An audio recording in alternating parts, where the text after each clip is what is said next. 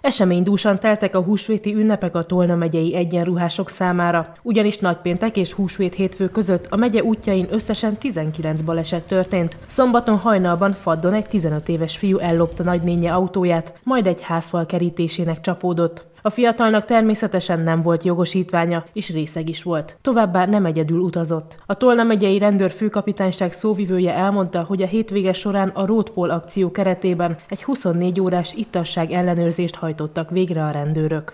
Húsvét vasárnap este 8 órától húsvét hétfő este 8 óráig.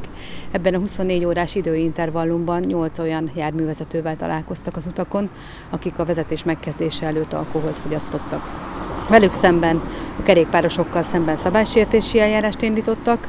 Volt olyan járművezető, akinek elvették a vezetői engedélyt, ilyet mert bűncselekményi értékhatárt fújt a szondába, és voltak olyanok, akik közigazgatási bírságot fognak fizetni a jövőben. A Roadpol akció még mindig tart, egészen csütörtökig számíthatnak az autósok a fokozott ellenőrzésekre. A hosszú hétvége alatt egyéb bűncselekmények is történtek, többek között húsvét vasárnap Szexádon egy 41 éves férfi próbált meg elmenekülni a rendőrök elől. Nála növényi drogot találtak az egyenruhások. Hétfőn a Tolnai megyeszékhely egyik nagyáruház parkolójában egy földön fekvő emberre figyeltek fel a rendőrök. Mentőt hívtak hozzá, majd átvizsgálták a férfi autóját, ahol nagy összegű készpénzt és drogot, fehér port, kristályt és tablettákat találtak. Rokonai már két napja keresték, mert két napja eltűnt otthonából, és azóta nem adott életjelet magáról.